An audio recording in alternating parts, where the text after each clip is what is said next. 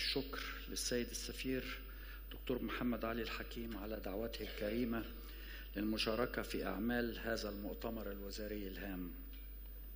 كما أتقدم بالتحية للإسكو على الجهود التي تقوم بها في المنطقة العربية بالمشاركة مع جامعة الدول العربية من أجل دعم جهود هذه الدول في تنفيذ أهداف التنمية المستدامة في العديد من مجالات العمل الهامة. كما لا يفوتني أن أتوجه بالشكر لدولة قطر على رئاستها للدورة السابقة 29 وتقدم بخالص التهنئة إلى تونس على رئاستها لهذه الدورة الحالية. تعود بدايات التعاون بين جامعة الدول العربية والإسكوا إلى حقبة السبعينات من القرن الماضي والتي شهدت إطلاق الإسكوا ذاتها. حيث تم إبرام مذكرة تفاهم بينهما في عام 83 تم تحديثها في عام 2013 وذلك لتطوير وتعزيز التعاون بينهما ليشمل أولويات مختلفة كالتنمية المستدامة التي أصبحت هي اليوم التركيز الرئيسي لعملنا. أيضا مكافحة الفقر تعزيز التكامل التجاري والاقتصادي تحقيق الأمن الغذائي تعزيز تكنولوجيا المعلومات والاتصالات والارتقاء بحقوق المرأة وغيرها.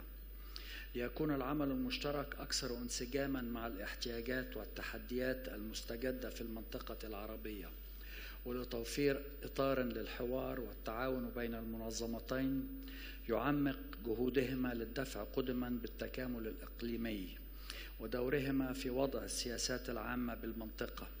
وأخذا في الاعتبار توسع الأسكوا في نطاق أنشطتها التي أصبحت تشمل غالبية الدول العربية. حضور الكريم.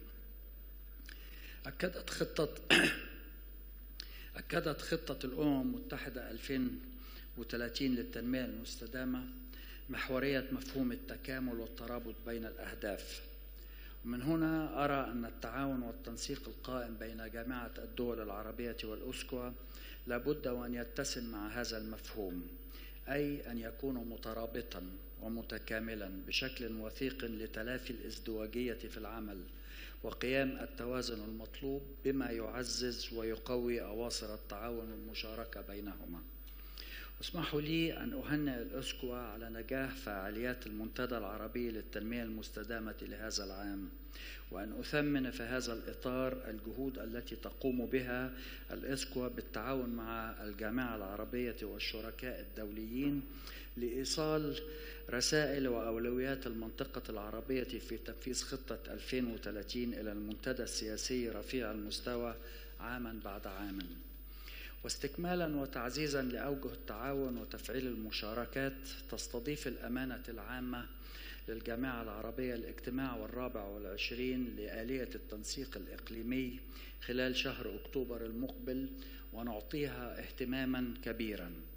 وسيشهد هذا الاجتماع عقد اجتماعات بين المنظمات العربية المتخصصة ونظيراتها من منظمات ووكالات الأمم المتحدة للوقوف على أهم القضايا التي تهم المنطقة ولتجديد الأولويات المشتركة.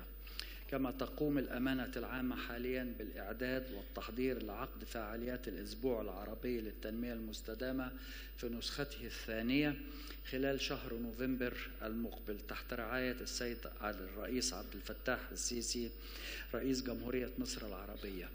وهي الفعالية التي تحرص نحرص على أن تكون الأسكوا شريكا رئيسيا فيها ونحظى بدعمها. حضور الكريم مع الإعلان عن خطة الأمم المتحدة للتنمية المستدامة 2030 بادر القادة العرب خلال القمة العربية السابعة والعشرين بنواكشوط في عام 2016 شهر يوليو. باتخاذ قرار يقضي بإنشاء آلية عربية تتولى متابعة تنفيذ أهداف التنمية المستدامة 2030 في الدول العربية يكون من ضمن مهامها تعزيز التعاون مع الأمم المتحدة. ووكالاتها المتخصصة وقد تمخض هذا عن قرار عن قرار إنشاء اللجنة العربية لمتابعة تنفيذ أهداف التنمية المستدامة وتقديم الدعم للدول العربية في تنفيذ خططها الوطنية والتي ترفع توصياتها إلى المجلس الاقتصادي والاجتماعي للجامعة العربية والذي يجري حاليا محاولة جادة حقيقية فعالة من أجل تطويره. سيدات والسادة في ظل الظروف والتحديات الكبيرة والمتلاحقة التي تشهدها المنطقة العربية خلال المرحلة الحالية والتطور التكنولوجي المعلوماتي والاتصالات. وهي موضوع نقاش هذه الدورة الوزارية التكنولوجيا من أجل التنمية المستدامة في المنطقة العربية. فإن ذلك يمثل أهمية محورية وركيزة أساسية من ركائز العمل في مجال التنمية المستدامة. حيث تساهم التكنولوجيا والبحث العلمي والابتكار في تحقيق التنمية المستدامة المنشودة خاصة عندما تستخدم كوسيلة لتنمية قدرات الإنسان وكعنصر جوهري لتغيير المجتمعات عن طريق توفير الأدوات والوسائل الضرورية لوضع الأطر الوطنية. ويأتي هذا التوجه متماشيا مع الاهتمام الذي توليه الدول العربية للتوطين ونقل التكنولوجيا في ضوء كونها عملية ضرورية لتأمين بيئة صحية للعمل ولتوفير فرص عمل للشباب للحد من البطالة مثلما شاهدنا في الفيلم الذي عرض منذ دقائق. وأيضا لتعزيز وتسريع وتيرة التقدم نحو تحقيق خطة 2030 وتلبية الاحتياجات الخاصة لمختلف هذه الدول العربية وخاصة الدول الأقل نموا. ومع الأخذ في الاعتبار أن الهدف السابع عشر من أهداف التنمية المستدامة 2030 يركز على تعزيز وتطوير التكنولوجيا ونقلها ونشرها. ويتطلب الأمر بالتالي العمل في هذا الصدد بجدية من أجل إيجاد طرق جديدة ومبتكرة للتمويل المستدام مع تغيير فلسفة الفكر المالي والمصرفي والتشبيك في هذا الخصوص بين المال والمجتمع والبيئة وتعزيز المشاركة بين أصحاب المصلحة المتعددين. بين المتعددين لجمع المعارف والتكنولوجيا والموارد المالية وتقاسمها. وذلك بهدف تحقيق أهداف التنمية المستدامة في جميع هذه الدول العربية ولا سيما في الدول النامية والدول الأقل نموا في المنطقة العربية. وهذا ما تقوم الأمانة العامة بدراسته في الوقت الحالي تمهيدا للخروج بمبادرة تطرح على القمة التنموية التي ستعقد هنا في هذا البلد الكريم أوائل العام القادم والتي نترقب وقوعها وحضورنا جميعا كدول عربية لهذه القمة. قام حكومات وقادة. وفي هذا الإطار يسرني أن ألفت النظر إلى أن جامعة الدول العربية بادرت. ومن خلال اللجنة العربية للتنمية المستدامة بتقديم مقترح لإنشاء الشبكة العربية للعلوم والتكنولوجيا من أجل التنمية المستدامة والتي تهدف للمساهمة في تعزيز آليات التعاون في مجالات العلوم والمعرفة والتكنولوجيا من أجل تحقيق أهداف التنمية المستدامة وذلك بالتعاون مع المنظمات الإقليمية والدولية المعنية. ختاما سيادة الرئيس الحضور الكريم يسعدني أن أتوجه بالشكر والتقدير إلى الجمهورية اللبنانية على احتضانها لهذا الاجتماع الوزاري الهام. مع التطلع لاستضافتها للقمة العربية التنموية القادمة أوائل عام 2019 والتي نتمنى النجاح لأعمالها. وأن تخرج بنتائج تلبي طموحات المواطن العربي. كما أتقدم بجزيل الشكر مرة أخرى إلى السيد السفير الدكتور محمد علي الحكيم وكيل الأمين العام للأمم المتحدة ولسكرتارية اللجنة على حسن التنظيم متمنيا أن يكلل الاجتماع الوزاري لهذا العام بكل نجاح وتوفيق. شكرا سيادة الرئيس شكرا حضورك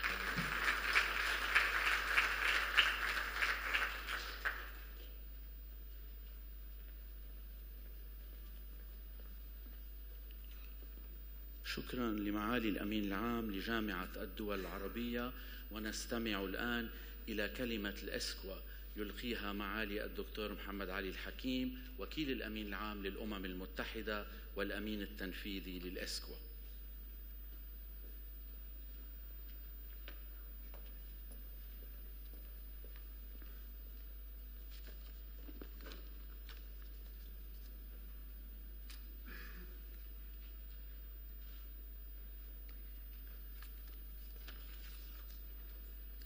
فخامة رئيس الجمهورية اللبنانية العماد ميشيل عون معالي أمين عام جامعة الدول العربية السيد أحمد أبو الغيط أصحاب المعالي والسعادة الخبراء والأكاديميون والمفكرون الزميلات والزملاء الحضور الكريم. يسعدني باسم لجنة الأمم المتحدة الاقتصادية والاجتماعية لغرب آسيا الأسكوا أن أرحب بكم ضيوفا أعزاء في بيت الأمم المتحدة في بيروت في افتتاح الدورة الوزارية الثلاثين للأسكوا ويشرفني بداية أن أتقدم من فخامة الرئيس العماد ميشيل عون بعظيم تقديري على رعايته وتشريفنا بحضوره شخصيا حفل الافتتاح. كما أرحب بمعالي السيد أحمد أبو الغيط حيث يجسد بحضوره عمق الشراكة العربية والأممية ونعمل مع الجامعة العربية الشريك الرئيسي للأسكوا لتنفيذ خططنا الحاضرة والمستقبلية. كما أرحب بمشاركة معالي السادة الوزراء ورؤساء الوفود العربية وممثلي المنظمات الدولية وأحيي شركائنا في التنمية الحاضرين معنا ممثلي مؤسسات الفكر والمجتمع المدني والقطاع الخاص لتلبيتهم الدعوة للمشاركة في هذه الدورة التي اختارت دولنا الأعضاء أن يكون موضوعها الرئيسي التكنولوجيا من أجل التنمية المستدامة.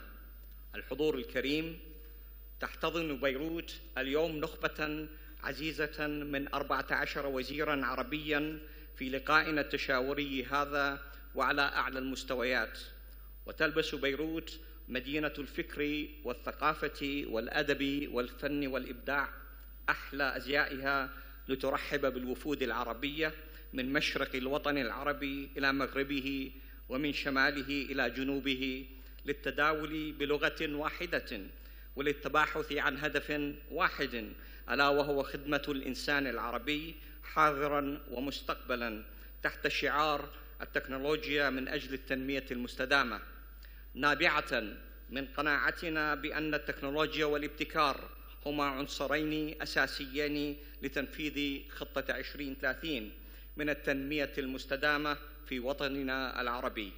الحضور الكريم نجتمع اليوم للتباحث في كيفية وضع التكنولوجيا والابتكار في خدمة الإنسان والتنمية البشرية في منطقتنا العربية والنظر في كيفية دمج هذين البعدين في الخطط التنموية الوطنية باعتبارهما حاجة ملحة وأولوية مطلقة في عالم اليوم لدفع عجلة التنمية الشاملة والمستدامة مما يعزز رفاه وازدهار المواطن العربي وتوسيع المكاسب لتشمل الجميع دون استثناء. وتوفر الأمم المتحدة فرصة للوقوف عند الحاجات الملحة للبلدان العربية في ظل الأوضاع الراهنة التي شهدت خلال السنوات الأخيرة تحولات على كافة الصعد السياسية والاقتصادية والاجتماعية والبيئية. الحضور الكريم نجتمع اليوم لتحفيز التعاون ولإيجاد الأطر الوطنية والإقليمية التكاملية لتحقيق الرفاه لمجتمعاتنا. وسعيا منا لتحقيق الصالح العام لشعوبنا وتأمين مستقبل أفضل للشباب وللأجيال القادمة. والواقع أن موضوع التكنولوجيا يكمل المواضيع التي طرحتها الدورتان الوزاريتان السابقتان من العدالة الاجتماعية وتنفيذ خطة التنمية المستدامة لعام 2030 وكلنا يعلم ما تختزنه التكنولوجيا والابتكار من إمكانات لترسيخ العدالة الاجتماعية ومنع الانقسام والتهميش وسد الفجوة المستمرة بين الجنسين وضمان الدمج الكامل للأشخاص ذوي الإعاقة وصولا إلى أكثر الفئات تعرضا للمخاطر من ناحية وما يمكن أن تقدمه من حلول ناجعة للكثير من التحديات البيئية والاقتصادية والاجتماعية التي تواجه بلداننا العربية وتمكين الشباب والنساء والفتيات وتوفير العمل اللائق للجميع ودعم التنمية المستدامة الشاملة في منطقتنا العربية من ناحية ثانية. الحضور الكرام الشباب العربي اليوم شباب متألق ومتألم في آن واحد متألق بأفكاره وطموحاته ومتألم بانتظار بانتظاره لفرص العمل اللائق التي توفر له العيش الكريم. ولن ياتي ولن يأتي هذا إلا من خلال فتح مجال القطاع الخاص. فالقطاع الحكومي في الدول العربية بات كبيرا بدرجة غير مسبوقة ومترهلا بصورة غير مقبولة. وبالتالي يجب إعطاء الشباب مساحة أكبر للعمل في القطاع الخاص. فيطوروا هذا القطاع ويتطورون معه. وهذه مسؤولية مشتركة تقع على عاتق الحكومات والقطاع الخاص معا. فالدولة مطالبة بإزالة القيود والتعقيدات والقوانين الصعبة التي تعيق تطوير القطاع الخاص وإتاحة المرونة اللازمة لإنشاء الأعمال الرائدة ودعمها. وعلى القطاع الخاص أن يبني روابط وثيقة مع الجامعات ومراكز البحوث لتشكل مخرجاتها نتائج عملية لخدمة التنمية. السيدات والسادة تواجه النساء العربيات صعوبات تفرضها أنظمة تمييزية تحبط قدرتهن على المساهمة الفعلية في الاقتصاد. فلا يمكن تفعيل نهضة حقيقية في مجتمعاتنا العربية إلا بتمكين النساء من التخصص في كافة المجالات ودخولهن الممنهج في سوق العمل. وقطاع التكنولوجيا يمثل حالة صارخة للمشاركة المحدودة للنساء في الحياة الاقتصادية والتي ينبغي التعامل معها بدرجة كبيرة من الإلحاح. السيدات والسادة إن الرسالة التي ترغب الأمم المتحدة في توجيهها اليوم إلى جميع المعنيين هي دعوة صريحة إلى تبني التكنولوجيا والابتكار في خدمة البشرية. هذا هو الهدف الأساسي من التكنولوجيا أن تكون في خدمة الإنسان والتنمية البشرية والمستدامة في الدول العربية. وكل جهود التنمية يجب أن تصب في الإنسان يجب أن تصب في الإنسان وترتبط به. أصحاب المعالي والسعادة السيدات والسادة على هذا الأمل. أتمنى لمداولاتكم كل التوفيق في فتح آفاق جديدة لأجيالنا.